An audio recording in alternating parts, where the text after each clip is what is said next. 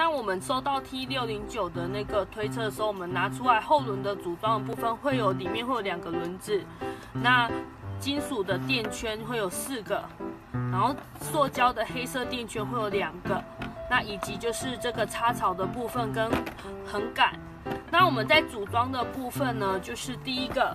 我们是一开始先加进一个金属的垫圈。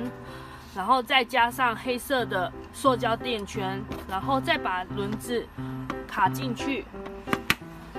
那再卡进一个金属的垫圈，那以及把这个插槽插销，就是插进插槽里面，那这一边的轮子就组装完成了。那另外一边一样，就是呃先垫进金属的垫圈一个，然后一样就是塑胶垫圈一个，那一样将车轮卡上后。然后一样，就是金属垫圈进去，那再把这个金属的插销，就是一样插进去那个插槽的部分里面，那这样子就完成那个后轮的组装。